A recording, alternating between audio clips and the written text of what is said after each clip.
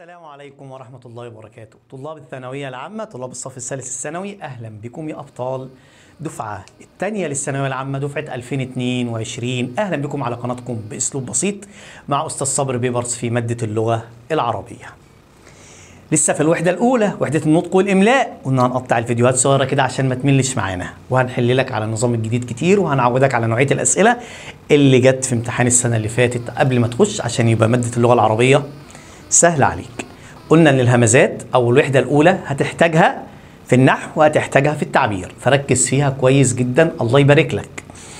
النهارده هناخد الهمزة المتوسطة. يلا بقى كده مع الهمزة المتوسطة. مش هقعد أحفظك بقى.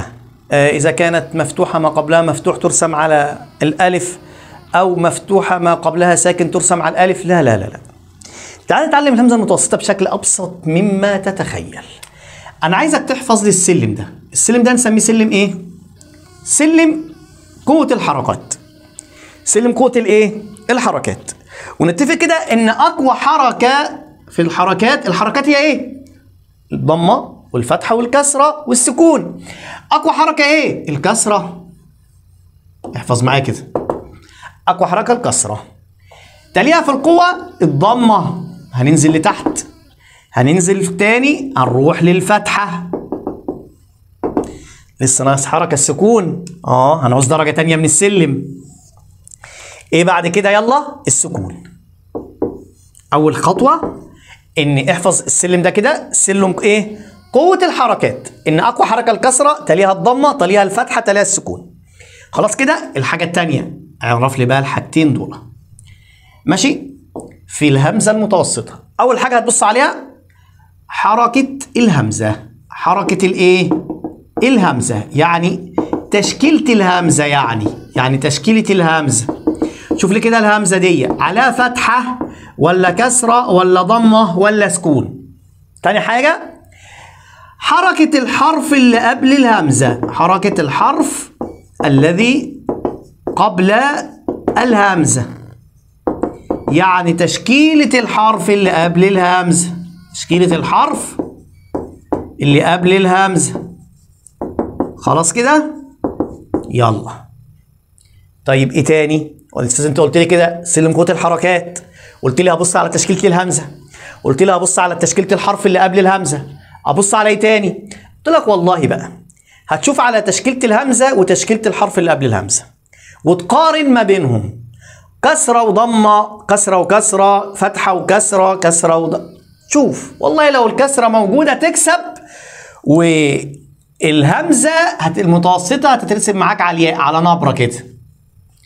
لو الضمة الأقوى ما بين تشكيلة الهمزة والحرف اللي قبل الهمزة هتاخد تكسب الضمة تاخد الهمزة على الواو. لو الفتحة الأقوى هتاخد الهمزة على الألف. غير كده هنلاقي الهمزة على السكون. ناخد بعض الأمثلة يلا السهلة كده. درس سهل. يعني أنا لما أقول كده مثلا كلمة سئل. مش عايزك بقى تحفظ تقول لي إيه الهمزة رسمت على النبرة أو على الياء لأنها مكسورة ما قبلها مضموم. ما أنا خلاص ما أنا عرفت خلاص. إن الكسرة أقوى من الضمة ف... ودي همزة متوسطة هتاخد الهمزة على النبرة. سبب رسمها إيه؟ مكسورة ما قبلها مضموم. مش هحفظ. أنا بس لما أبص كده هجيب السبب. خلاص؟ إيه تاني؟ قال لي والله في كلمة تاني ترسم على النبرة لما زي كلمة هيئة. ركز معايا كده. وكلمة بيئة. آه يا أستاذ. أنت قلت لنا إن الكسرة لو أقوى هتاخد الهمزة على الياء. طب كلمة هي الياء سكون. هيئة الهمزة فتحة. والفتحة أقوى من السكون المفروض الهمزة على الألف. هقول لك ده على حسب القاعدة صح. لكن إحنا بنعتبر إن الياء الساكنة حرف علة بمثابة الكسرة. فأكن ما قبل الهمزه مكسور فعشان كده رسمنا الهمزه على على الياء. لأن ما قبل الهمزه مكسور وما بعدها مفتوح الكسره أقوى من الفتحة فتترسم على الإيه؟ على الياء. فبنعتبر حرف العلة ده إيه؟ كسرة. زي كذلك بيئة. ما هي دي ساكنة لأن حروف المد ساكنة والهمزه على فتحة. آه بس بنعتبر إن الياء دي إيه؟ آه نعتبر الياء حرف العلة دي كسرة. كده رسمة الهمزه على الياء على النبرة سهلة. لذلك لو على مثلا على الواو. أنا دلوقتي لما أقول كلمة سؤال ما تيجي نشكل الحرف اللي قبل الهمزة؟ ضمة. الهمزه فتحة. فتحة وضمة. أي أقوى؟ الضمة. آه ما دام الضمة تكسب يبقى الهمزة تروح على إيه؟ آه تروح على حسب قوة حرف حركة الحرف سواء الهمزة أو اللي قبل الهمزة. أيهم أقوى؟ بيكسب وياخد الهمزة ويرسم الهمزة بمزاجه فالضمة ترسم الهمزة على الواو. سؤال. فؤاد. وهكذا. طبعا الألف. قال لي والله مثلا عندك كلمة رأس. كلمة إيه؟ رأس. الراء عليها فتحة والهمزة سكون. أني أقوى؟ الراء الفتحة ولا الهمزه سكون. آه الفتحة أقوى. خلت الهمزة على الإيه؟ على الألف. سأل. الهمزة فتحة والسين فتحة فتحة وفتحة. خلاص هي الفتحة الأقوى. يبقى الهمزة على الألف في كلمة سأل. خلاص كده؟ طيب. إمتى بقى ترسم على السكون؟ قال لي والله في الحالات التانية خلاص مفيش بقى قوة مفيش حرف ساكن أقوى. قال لي إن تلاقي إن الهمزة عليها فتحة وقبلها ألف مد زي تفاءل. يبقى الهمزة بتترسم إمتى؟ على ال... على السطر. مم. همزة مفتوحة قبلها ألف مد تقول لي يا أستاذ المفروض على حسب القاعدة كانت تترسم على الألف. أقول لك أيوة بس هنا لكل قاعدة شواذ. إذا كانت الهمزة مفتوحة قبلها ألف مد ترسم على السطر. وكذلك إذا كانت مفتوحة قبلها واو مد زي مروءة. الهمزة مفتوحة قبلها واو مد برضو تبقى همزة مفتوحة قبلها واو مد. يبقى ترسم الهمزة على السطر. إذا كانت مفتوحة قبلها ألف مد زي تفاءل وكلمة قراءة. ماشي؟ وكذلك مفتوحة قبلها واو مد زي مروءة وغيرها من الكلمات. وموبوءة. موبوءة. إيه آخر حاجة ترسم فيها على السطر؟ قال لي والله بص كده الكلمة دي الهمزة مضمومة رؤوس. قال لي الهمزة إذا كانت مضمومة وبعدها واو مد لا تتصل بما قبلها. ترسم على السطر. إيه؟ قال لي ما هو الواو استحالة هتتصل بالإيه؟ بالراء. الراء والواو ما يتشبطوش في بعض كده. خلاص يبقى مضمومة بعدها واو مد وما والواو المد هذه لا تتصل بما قبلها دي كده الهمزة المتوسطة. يبقى الهمزة المتوسطة بنعمل إيه؟ نحفظ سلم قوة الحركات. إن أقوى الحركات الكسرة تليها الضمة تليها الفتحة تليها السكون. يبقى بتشوف تشكيل حركة الهمزة والحرف اللي قبل الهمزة. وعلى حسب سلم قوة الحركات بنرسم الهمزة. خلاص ترسم على الياء إمتى؟ إذا كانت الكسره أقوى. وكلمة هيئه وبيئه بنعتبر إن الحرف المد الياء كسرة. خلاص؟ ترسم على الواو إمتى؟ إذا كانت الضمة أقوى. ترسم على الألف إمتى؟ إذا كانت الفتحة أقوى. ترسم على السطر إمتى؟ إذا كانت مفتوحة قبلها ألف مد مفتوحة قبلها واو مد مضمومة بعدها واو مد. اكتبها لك اهي مضمومة بعدها واو مد. وما وهذه الواو هذه الواو بعدها واو مد لا تتصل بما قبل الهمزة. خلاص كده؟ يلا بقى نروح كده للإيه؟ للهمزة المتطرفة. الهمزة المتطرفة اللي هي الحرف الأخير عشان كده سموها متطرفة. الهمزة المتوسطة كانت بتبقى في نص الكلمة المتطرفة في آخر الكلمة.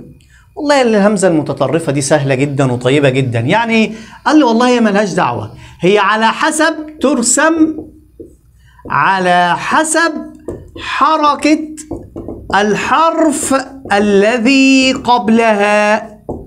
يعني هي بتقول لك أنا ماليش دعوة. الحرف اللي قبلها لو الحرف اللي قبلها مكسور ترسم على الياء. الحرف اللي قبلها مضموم ترسم على الواو. الحرف اللي قبلها مفتوح ترسم على الألف. غير كده ما قبلها ساكن أو مد ترسم على السطر. يبقى الهمزة المتطرفه على حسب إيه؟ تشكيل الحرف اللي قبل الهمزة المتطرفة. قال له والله أنت لما تيجي تاخد كلمة شاطئ الطاء عليها كسرة. عشان كده الهمزة على الياء. شاطئ. الهمزة على الياء. ليه الهمزه المتطرفه رسمت على الياء لأن حركة الهمزة حركة الحرف الذي قبل الهمزة اللي هو الطاء ماله؟ مكسور. ماله؟ مكسور. طيب. قال لي مضمومة قال لي زي كلمة تباطؤ. ليه رسمت الهمزة على الواو؟ قال لي الطاء دي عليها ضمة. يبقى تشكيل الحرف اللي قبل الهمزه مضموم رسمت الهمزة على على الواو. طيب مفتوح زي كلمة بدأ. ليه رسمت الهمزة المتطرفة دي على الألف؟ قال لي ان الدال دي على فتحه أو مبتدأ.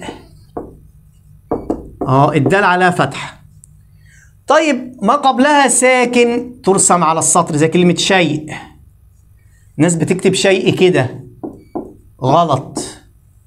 اعرف بقى عشان ممكن يجيبها لك في امتحان وتبقى انت تكتبها غلط. شيء الهمزة على السطر. ماشي؟ في ناس يعني بعض ال... في أجهزة الكمبيوتر كده يحط لك الهمزة كده برضه هي على السطر بعد الياء. لازم تيجي بعد الياء الساكنة. أو جزاء. ما قبلها ألف مد. خلاص؟ جزاء أو سماء. بهمزة. قبلها مد. الهمزة المتطرفة قبلها حرف مد وحروف المد ساكنة. أو قبلها ساكن ترسم على السطر. يبقى الهمزة المتطرفة سهلة جدا. على حسب حركة الحرف اللي قبل الهمزة بنرسم الهمزة. ما تمشيش. خليك معايا. اكتب لك بعض التدريبات اللي هتساعدك على فهم الدرس بتاع الهمزات سواء ألف الوصل همزة القطع اللي خدناه في الفيديو اللي فات والمتوسطة والمتطرفة. يلا بقى بص معايا على التدريبات كده اللي على السبورة. نقط عظماء. نقط عظماء. نضع مكان النقط إيه؟ هل شعراءنا؟ شعراؤنا؟ شعرائنا؟ شعراءنا تعالى كده بقى بص معايا إيه اللي بيحصل في التدريبات دي. بيقول لي عظماء نقط عظماء. بيقول لي بقى بص هو بيقول لك إيه؟ آه نقط مديك نقط في المثال. كاتب لك كلمة إيه؟ كلمة عظماء. وعايزك تختار ما بين شعراءنا وشعراؤنا. طب دي هتكون جملة اسمية. دي هتكون إيه؟ جملة اسمية. طيب الجملة الاسمية دي خلاص مبتدأ مرفوع وعظماء خبر مرفوع، شعراؤنا مبتدأ وعظماء خبر. عايز أعرفك حاجة بقى، الهمزة المتطرفة كلمة شعراء همزة متطرفة رسمت على السطر لأن قبلها ألف مد. الهمزة المتطرفة إذا اتصلت بضمير احفظ إذا اتصلت بإيه؟ بضمير أي ضمير بقى أي ضمير متصل. إذا اتصلت بضمير في حالة الرفع نرسمها على الواو. وفي حالة النصب على السطر. وفي حالة الجر على نبرة. الهمزة المتطرفة. في حالة الرفع إذا الهمزة المتطرفة إذا اتصلت بضمير في حالة الرفع ترسم على الواو. وفي حالة النصب ترسم على السطر. وفي حالة الجر ترسم على نبرة فكلمة شعراء همزة متطرفة. اتصلت بين المتكلمين شعراؤنا. طب هي مبتدأ ففي حالة رفع فنختار رقم ب. شعراؤنا. والله دي لو كانت منصوبة شعراءنا. شعرائنا لو كانت مجرورة. دي طبعا غلط المد دي. خلاص كده؟ طيب. السؤال الثاني بيقول لي أي الجمل التالية كتبت بصورة صحيحة؟ ما دي أسئلة الامتحانات. بيقول لي إيه الجملة بقى اللي مكتوبة بصورة صح؟ بيقول لي يجب علينا الانطلاق نحو تنمية إنتاجنا. يجب علينا الانطلاق نحو تنمية إنتاجنا. طبعا كله بجملة واحدة. كله يجب علينا الانطلاق نحو تنمية إنتاجنا. بس تعالى نشوف بقى أنهي جملة اللي صح. يلا كده نمسك جملة جملة. يجب علينا الانطلاق ماشي نحو تنمية إنتاجنا. تمشي. لأن انطلاق مصدر انطلق. وانطلق فعل خماسي. فالمصدر الخماسي قلنا ألف إيه؟ وصل. فهي مكتوبة كده؟ ماشي. طب نحو تنمية إنتاجنا إنتاج مصدر الفعل أنتج وأنتج ماضي رباعي. وقلنا الماضي الرباعي والأمر منه ومصدره قطع. تمام. بس تعال نشوف التانيين. يجب علينا الانطلاق. آه حاطط لي الهمزة على همزة قطع. والانطلاق مصدر خماسي وصل. فهنا دي كده غلط. نحو تنمية إنتاجنا. آه كاتبها لي صح همزة قطع عشان ده مصدر رباعي. لكن ما دام فيها غلطة خلاص ما ينفعش. يجب علينا الانطلاق. ألف وصل ماشي. مصدر خماسي نحو تنمية إنتاجنا. كاتب لي هنا وصل وده مصدر رباعي. فالمفروض كان تبقى قطع فدي الغلطة. يجب علينا الانطلاق. آه المصدر الخماسي كاتبها لي قطع وهي وصل فدي غلطة. نحو تنمية إنتاجنا برضو دي قطع وكاتبها لي وصل فدي غلط خالص في الاثنين فالإجابة الصح رقم كام؟ رقم ألف. طيب بيقول لي أي الكلمات التالية بها خطأ املائي. أي كلمة من دول فيها خطأ إيه؟ املائي. كلمة إنهاء ولا انتهاء ولا انتهى ولا أنهى. قال لي والله إنهاء مصدر الفعل أنهى وأنهى فعل رباعي ماضي رباعي والماضي الرباعي والأمر منه هو مصدره قطع فدي مكتوبة بصورة صحيحة. طيب انتهاء مصدر الفعل انتهى والفعل انتهى خماسي والفعل الخماسي وأمر منه ومصدره وصل فهنا في ثلاثة مكتوبة صح وأنا هنا مكتوبة صح إنما انتهاء مكتوبة غلط. فالاختيار بتاعنا الصحيح هيكون رقم اتنين انتهاء الانتهاء بقى خطأ إملائي. المفروض مصدر خماسي فكان المفروض تتكتب إيه؟ كان المفروض تبقى وصل كان المفروض تبقى يا جماعة؟ وصل طيب الشعر بيقول لي وما شيء أحب إلى لئيم إذا سب الكرام الجواب. اللئيم يحب جدا إذا سب واحد كريم إن الكريم يرد عليه عشان تستوي الرؤوس في إيه؟ في السفالة. بيقول لي بقى سبب رسم الهمزة همزة ما تحته خط. إيه همزة ما تحته خط؟ شيء ولئيم. شيء إيه؟ ولئيم. ركز معايا بقى. شيء مكتوب على إيه؟ على السطر بعد الياء اهي ولئيم مكتوب على نبر. بيقول لي هل السبب عشان الهمزة بتاعت شيء متطرفة بعد مد بالياء؟ لا ده الياء دي ساكنة أساسا. فدي كده غلط. مش بعد مد بالياء هي متطرفة بس مش بعد مد بالياء. وبيقول لي وكلمة لئيم بعد الهمزة ياء مد مش هو ده السبب الرئيسي. مش هو ده السبب الإيه؟ الرئيسي. فالاختيار ده كده هنستبعده. متطرفة بعد ساكن ماشي. متطرفة بعد ساكن. مكسورة بعد فتح لا والله. هي مكسورة آه بس مش بعد فتح يعني مش ده السبب. يعني مش هو ده الايه اللي هيكون السبب. اللي آسف معلش ده ده ده كده هيكون الايه هيكون السبب مكسورة بعد فتح. إحنا بنبص في الهمزة المتوسطة لحركة الايه؟ حركة الهمزة وحركة الحرف اللي قبل الهمزة. فالهمزة مكسورة وما قبلها مفتوح، أني أقوى في الحركات؟ الكسرة، إحنا قلنا أقوى الكسرة تليها الضمة، تليها الفتحة، تليها السكون، فكده ده السبب صح، مكسورة بعد فتح، يبقى بنقول كده رقم ب متطرفة. بيقول لي رقم ب متطرفة بعد ساكن. ماشي تمشي. الهمزة فعلا متطرفة وبعد ساكن. طيب لئيم بيقول لي الهمزة مكسورة بعد فتح. آه ما إحنا بنبص في الحركة في الهمزة المتوسطة لإيه؟ لحركة الهمزة وحركة الحرف اللي قبل الهمزة. فقلنا إن الأقوى حركة الكسرة تليها الضمة تليها الفتحة تليها السكون. الكسرة لو الأقوى خلاص وكسبت هتاخدها على نبرة. الضمة أقوى تاخدها على الواو الفتحة أقوى تاخدها على الإيه؟ على الياء. فده الاختيار الإيه؟ الصحيح. متطرفة بعد ساكن ماشي. مكسورة بعدها ياء مد أنا ماليش دعوة بالهمزة المتوسطة في الحرف اللي بعد الهمزة. متطرفة بعد مد بالياء. ماليش دعوة مفيش مد بالياء أساسا. يبقى الاختيار الصحيح رقم إيه يا جماعة؟ رقم ب. إن شيء مرسومة على السطر لأنها متطرفة بعد حرف ساكن. ولئيم مرسومة على نبرة لأنها مكسورة وما قبلها مفتوح والكسر أقوى. تأخذها على الفتح. يعني خمس تدريبات كده افتكرنا بيهم الدرس تاني وشفنا شكل الأسئلة في النظام الجديد. على ما نحل معاك بقى من الكتب الخارجية. إن شاء الله تلاقي كل حاجة موجودة على قناتنا. ما تملش معايا. خلي عندك صبر. السنة طويلة. اللغة العربية حاليا هي أصعب مادة موجودة في المواد لكن إن شاء الله معانا هتكون مادة سهلة وجميلة. والسلام عليكم ورحمة الله وبركاته.